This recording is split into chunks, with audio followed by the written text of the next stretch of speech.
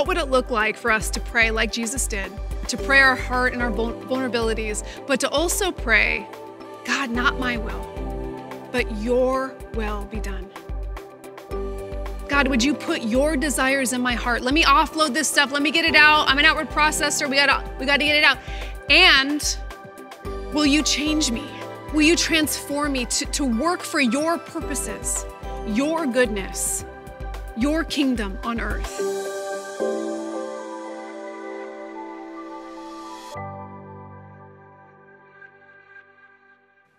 Well, what a joy it is to know that you've chosen to join us today for this 30 minute teaching ministry of Bel Air Church. You know, as a church family, we've been around for almost 70 years ministering to the city of LA and our surroundings, and now we are reaching across the globe. And our hope today is that you would find some encouragement, maybe some inspiration in your own walk with the Lord as we seek together to journey in deeper ways to be more like Jesus everywhere with everyone. Well, we have been in the midst of this prayer sermon series. We've kicked off the new year with this sermon series on Lord, teach us to pray. Because our desire as a people is to be more like Jesus in this way, more like his followers in this way, to grow deep and wide in our prayer life.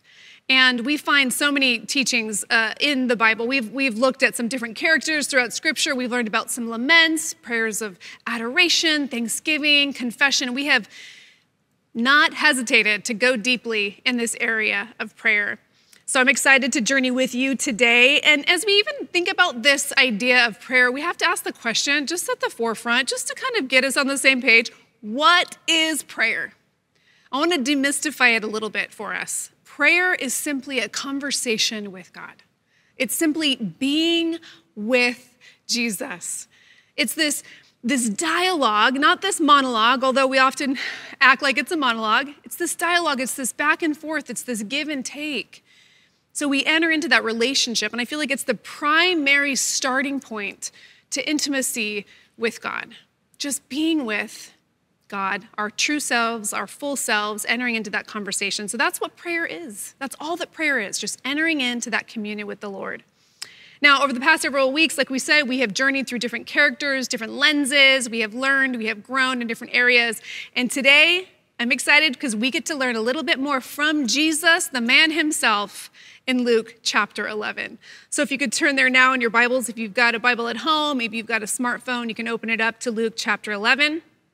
I'll be reading from the NRSV version, Luke chapter 11, 1 through 4. Listen to the reading of God's word. He, being Jesus, was praying in a certain place. And after he had finished, one of his disciples said to him, Lord, teach us to pray, as John taught his disciples. So he said to them, When you pray, say, Father, hallowed be your name, your kingdom come. Give us each day our daily bread, and forgive us our sins. For we ourselves, as we ourselves forgive everyone indebted to us. And do not bring us to the time of trial. This, my friends, is the reading of God's word. As we say together every week, thanks be to God. First, I just want to say something real quick. I think some of you probably were expecting me to say a little bit more in that prayer, right? Because there are two versions of this prayer in scripture that we read. The other one is in Matthew chapter 6. It's a little bit longer of a version, but here we've got kind of a shortened version of this prayer. And so I'll kind of be going back and forth a little bit between these two, but there's such rich teaching for us in this prayer. But I just want to take a left turn for a second.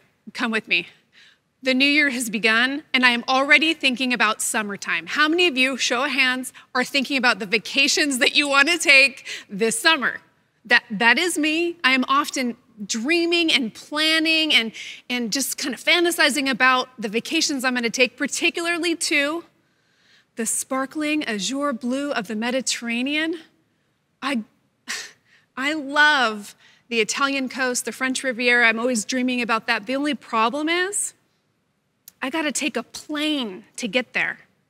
I have to get on a plane and fly halfway across the world. And I've shared this before. I'm, I'm kind of a nervous flyer. Um, and by kind of, I mean very nervous. Ask my husband, Mike. I will often grip his hands. My, my, I have these sweaty, clammy, nervous hands on a plane, and I'm just like, Mike, let's pray. And do you know what prayer comes out of my mouth in those moments of stress and anxiety? Our Father who art in heaven, hallowed be thy name, thy kingdom come, thy will be done on earth as it is. I am uttering this prayer fervently under my breath. And I know that people can kind of hear me within earshot, and I'm sure it probably makes people nervous who weren't actually nervous. But for me, it brings me such consolation. In that moment of fear and anxiety, as we're about to take off, which is statistically kind of the scariest time in a plane, I'm surrendered in this prayer, this traditional, classic, historical prayer, and I find consolation and peace in praying it. So I don't know about you, but what is the prayer that you utter in times of stress or anxiety? in times of traffic on the 405 freeway or whatever freeway you find yourself stuck in traffic? What's the prayer that comes to mind for you? Many of us, especially in our times of need, we, we turn to God in prayer, and sometimes it's just simply, God, help. God, show up. God, would you do something? But for 2,000 years, followers of Christ have been praying this prayer as a way to lead us and guide us and grow us in knowing who God is and what God longs for us. So let's go back to scripture and see what Jesus is inviting us to in this prayer. And again, I'm going to give a nod to Matthew 6 quite a few times throughout this, this teaching this morning. So we see in our text that Jesus had been praying. Okay, right off the bat, we see that Jesus had been praying. His disciples saw him pray, they heard him pray, and one of them asks him, Lord, would you teach us? Teach us to pray the way you pray. And one thing I want to point out here, it's really interesting to me, is that at this point, the disciples had seen Jesus do all kinds of miracles. He had fed the 5,000 with a few loaves and a few fishes. He had healed all kinds of people who were sick, all kinds of ailments. He had calmed the storm. He had raised people from the dead. They had witnessed so many miracles. But we don't actually have any kind of record of the disciples asking, Jesus, teach us how to do a miracle. But they ask him here, Jesus, teach us how to pray. And I really believe it's because they knew that this is where it starts. This is where it starts. It's with communion with the Father. Entering into a relationship where you pray and you petition and you receive and transform. So Jesus does. He teaches them. He teaches them how to pray. This very encouraging and challenging and centering prayer for his followers then and still for us today. So now, by no means, this is not going to be a, a full, like, complete deep dive teaching on the Lord's Prayer. We could do that. That should be a whole nother sermon series. But we are going to touch on some of these petitions that Jesus teaches us to pray. So, starting in verse 2, Jesus just simply says, Father.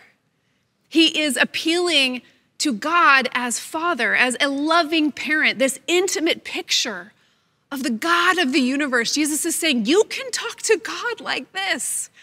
You can talk to a loving and compassionate God in terms of being a parent. And this would have been massively surprising for the disciples just to have this type of intimacy, this, this invitation to speak to the divine in this way. And going on, we see, Your kingdom come. Your kingdom come. We're to pray, Father, your kingdom come.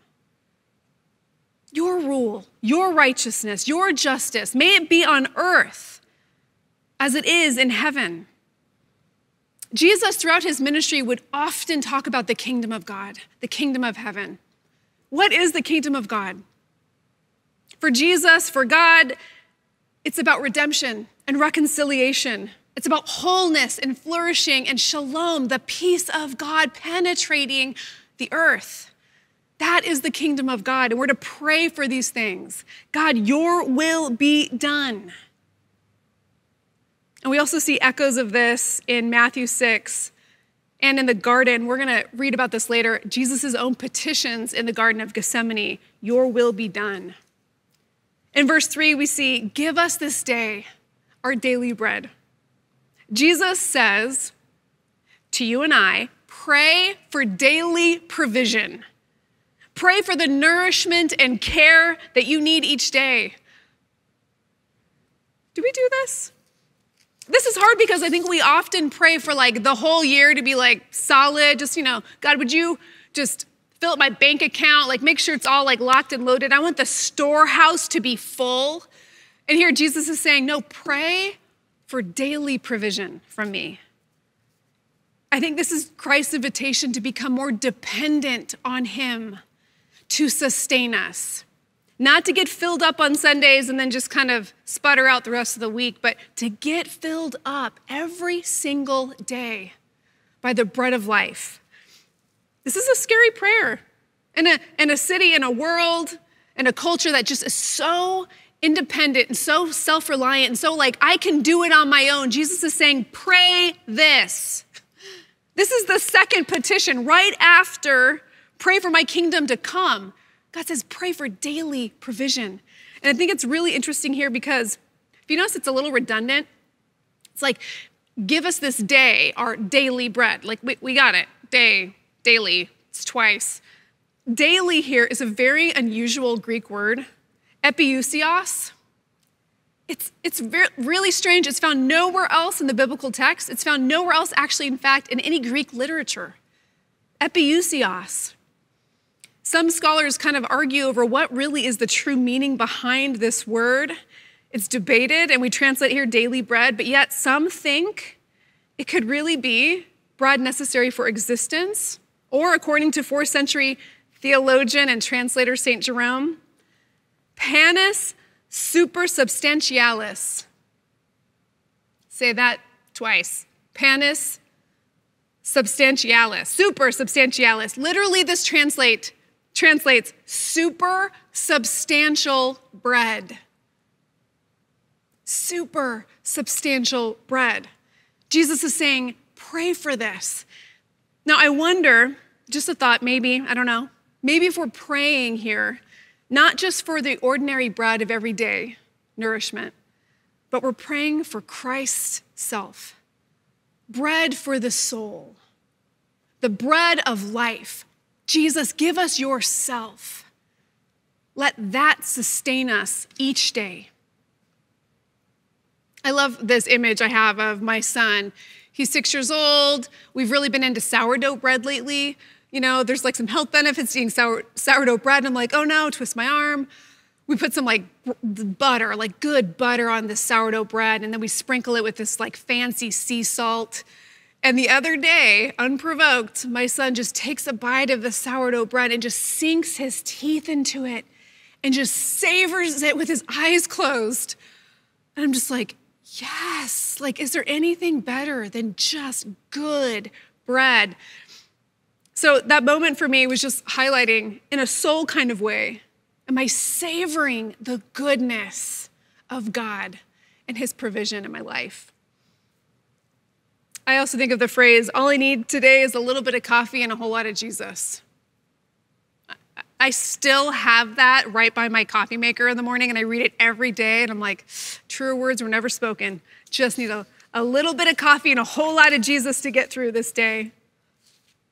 Continuing on in verse 4, we see, Forgive us our sins. Or in Matthew, we see debts. I know we got probably some two teams here. We got sinners, trespasses, we got debtors going on. It says, As we forgive everyone who is indebted to us. Hold up, Jesus. Wait a minute. Like, I was with you, I'm following you. I'm like, Yes, your kingdom, daily provision. You're asking me, you're asking us to forgive like the God of the universe forgives. To use the same kind of grace, a fully unmerited one, a merciful pardon, unearned, that kind of forgiveness. You're saying we're to do that? And notice that everyone here. Everyone. I don't think that's just a chance that that happened to be in there everyone because there might be some people who we feel a little bit more inclined to forgive, right? Like, you know what? Mm, okay, I'm to go ahead and forgive them. But who would who would it take some some work to forgive? Jesus is saying, Forgive them the way the Father in heaven forgives us.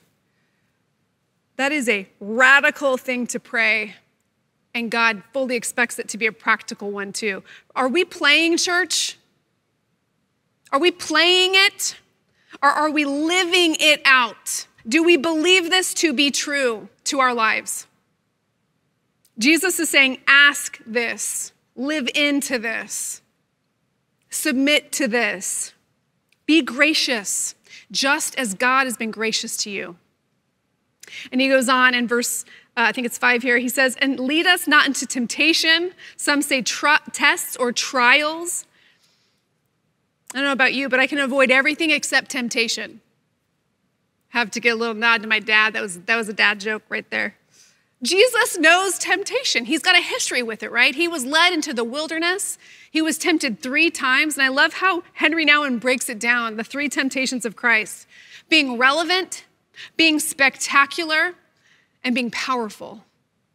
And these are the same temptations, friends, that we face every day. What will we do in times of trial and temptation? 1 Corinthians 10:13 says, "No testing has overtaken you that is not common to everyone. God is faithful, and he will not let you be tested beyond your strength. But with the testing, he will also provide the way out so that you may be able to endure it." Matthew 6's version adds this, "But deliver us from evil."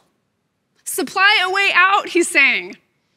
The internal temptation towards evil, we all have that propensity. None of us are void of this. Like we all have this in us. And here we're praying, God, protect me, guide me from those moments that feel destructive, where I'm disillusioned and discouraged. Give me the strength to choose you. Give me a moment of clarity. I not only don't want to be faced with temptation, but when I do, Help me not to fall into it. Sustain me. So, to summarize, Jesus is teaching us to ask God for justice and peace to reign in the world, for provision for what we need today, not just in a physical way, but in a soul kind of way. Grace. We're to pray for grace, to become grace filled people who forgive just as God forgave us, to admit our weaknesses and that we are broken and needing the strength and sustenance of God to deliver us from oppression. Now, I know that there's many of you right there who probably are really comfortable with asking prayers. You know, show of hands, like 90% of our prayers are probably like, God, I need, God, can you help? God, would you just? Jesus' teaching today might be regarding an area that maybe you've left out of your prayer life. Which one would it be? Would it be justice? Would it be a deeper dependence on Him? Would it be forgiving somebody who maybe you feel like doesn't deserve it at all? What might God be inviting you to, to pray for in a deeper way through the Lord's Prayer? And there's some of you that might be, you know, not comfortable with making requests. Maybe you don't feel worthy to ask God for anything. Maybe you don't know how to ask God for what you need. It's, it's not that you, maybe you don't want to bother God, you know? But don't forget that God is your loving Father. God will never turn you away. God wants to hear the vulnerabilities of your heart. He delights in you coming to Him. We see all kinds of, like we said, we've, we've seen a lot of characters, a lot of lenses, a lot of types of prayer. We see a really powerful one here, giving us a guide to ask and petition for. But we also see, we also see Jesus show us another way to pray in the Garden of Gethsemane. So Jesus teaches us, we've got this structure of the Lord's Prayer, and then we also see a more intimate version of prayer. In Matthew verses 26, 38 through 44, it reads this Then Jesus said to them, My soul is deeply grieved, even to death. Remain here and stay awake with me. And going a little farther, he threw himself on the ground and prayed, My Father, if it is possible, let this cup pass from me, yet not what I want, but what you want. Skipping to verse 42, he says, Again, he went away for the second time and prayed, My Father, if this cannot pass unless I drink it, your will be done. So, leaving them again, he went away and prayed for the third time saying the same thing.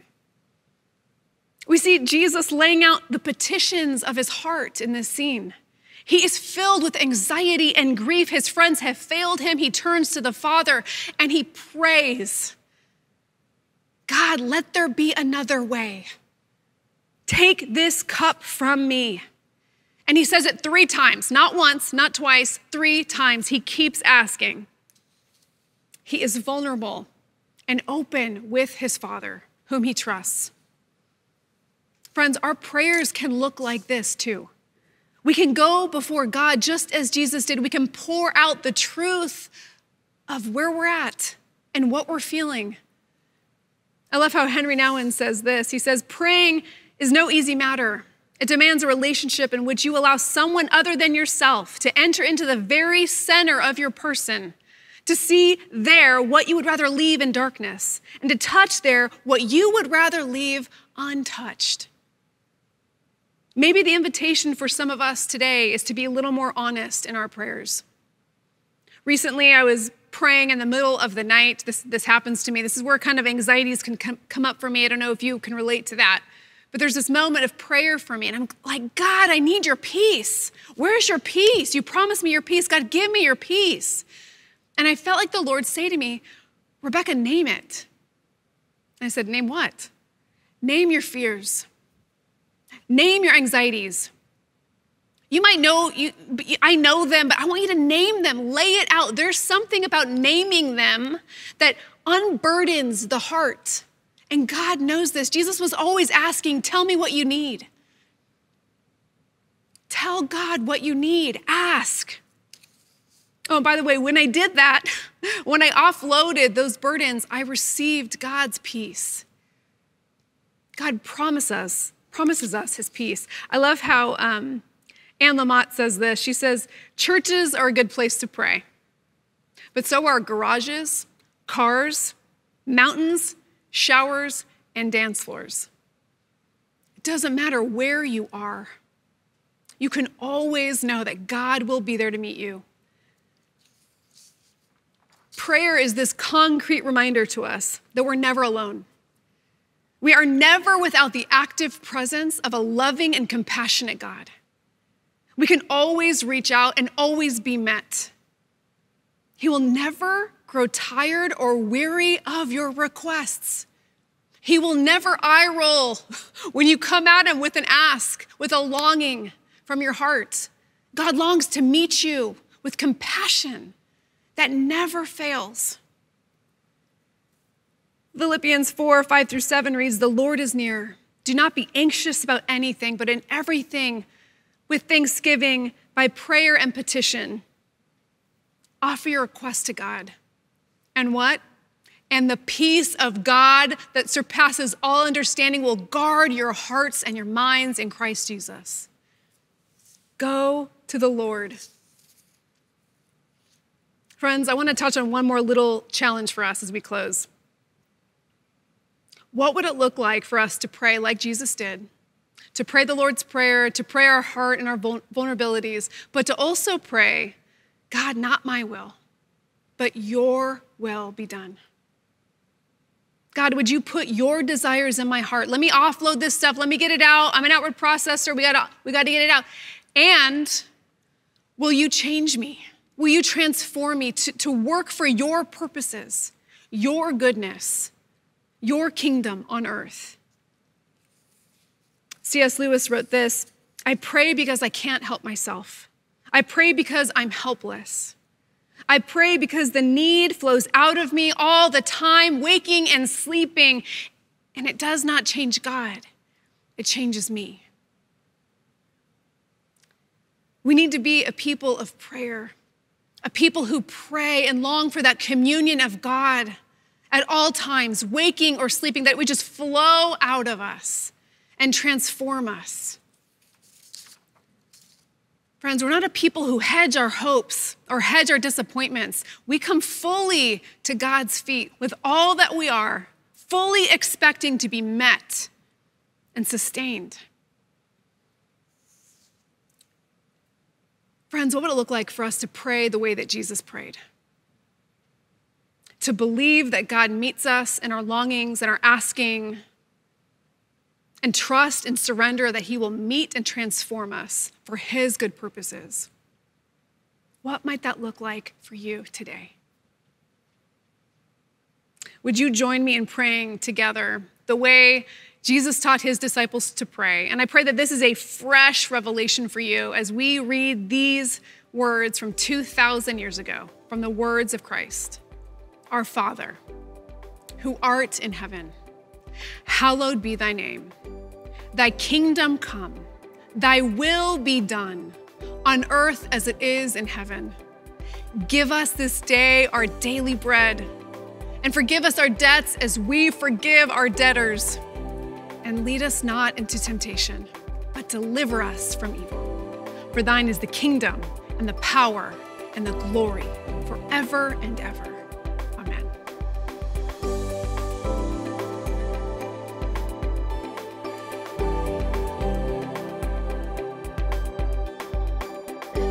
Hi, my name is Joanne Marcos, and I'm the Director of Missions and Outreach here at Bel Air Church.